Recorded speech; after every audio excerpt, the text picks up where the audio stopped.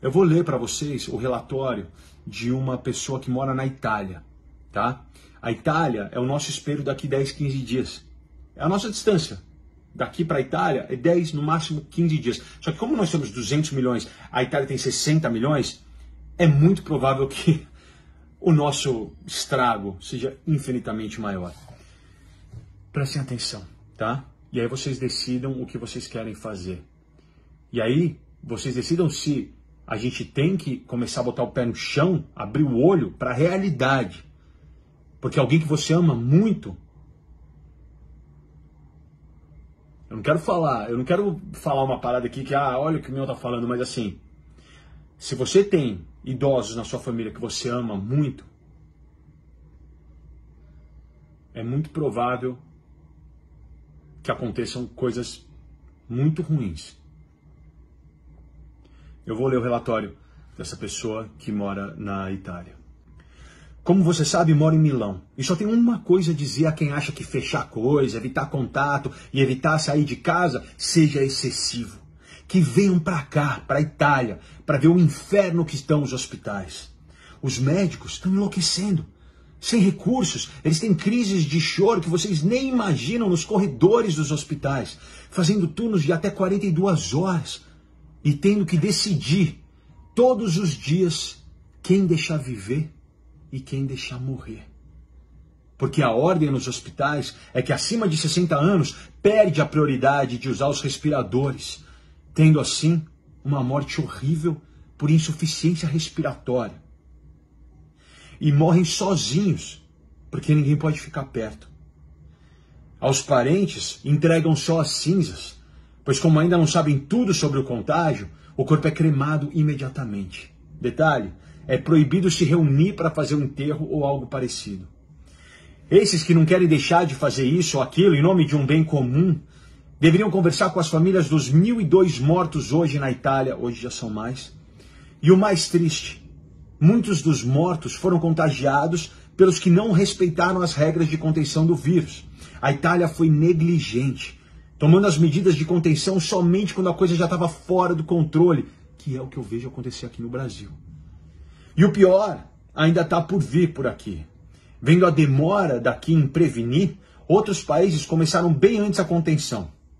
Mas se não houver uma consciência coletiva de que não é uma simples gripe e que o contágio é uma coisa nunca vista, muitas famílias vão enterrar seus pais, avós, tios e pessoas com a saúde vulnerável problema de pressão, de coração, diabetes, problemas renais.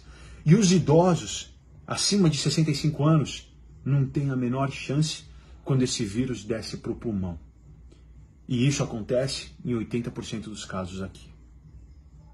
Quando isso passar aqui na Itália, não teremos mais anciãos, não teremos mais idosos na Itália, pois não escapa praticamente nenhum.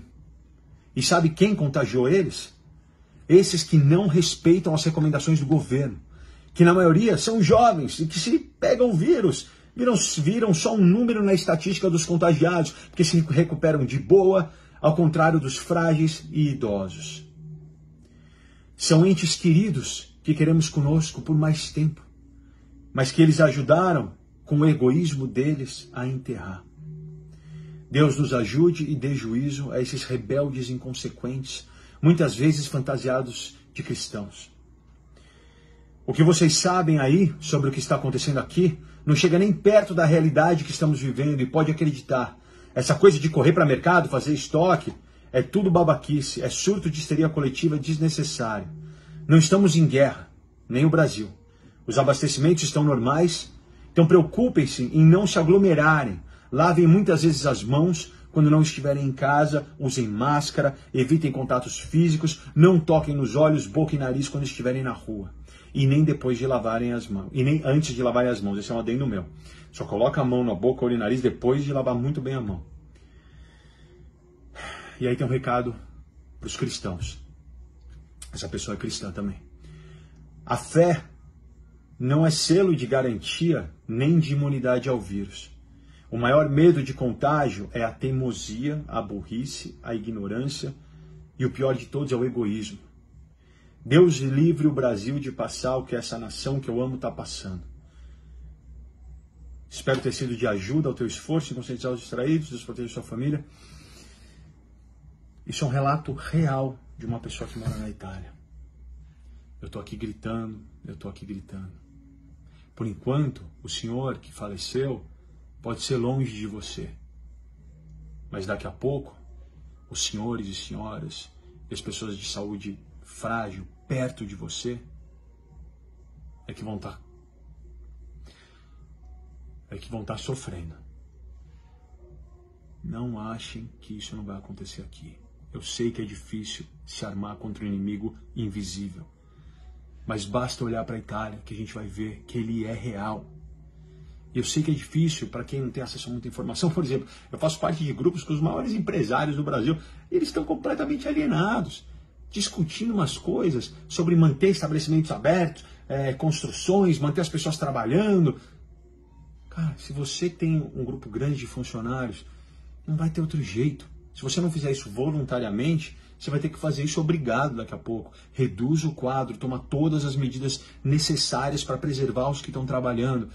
Poupa eles de exposição desnecessária. E os que estão em casa têm que continuar recebendo salário.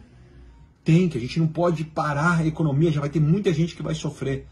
Se você pode, continue pagando todos os salários possíveis.